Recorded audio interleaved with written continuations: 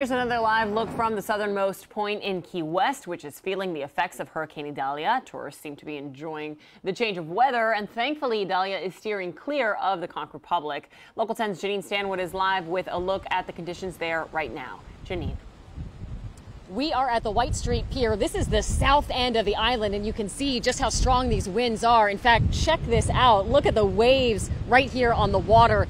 This could be very dangerous. In fact, so much so that just a short time ago, there was a kite surfer who ended up in the power lines. Let's take a look at video from just a short time ago. According to Key West Fire Rescue, he was able to detach and he's going to be okay, but you can see crews restoring the power and fixing that power line. No doubt up and down the Keys, everyone feeling the effects of this storm. Stormy weather and whipping winds at this resort in Key West. Palm trees swaying, the patio getting soaked.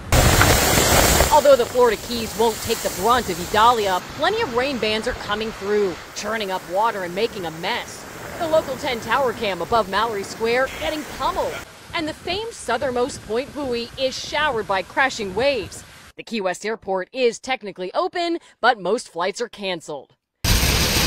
Squalls are making their way northeast up the island chain. Islamorada hit with bands producing lightning, making driving dangerous. In this canal front neighborhood in Key Largo, you can see dark clouds. The water is higher than usual.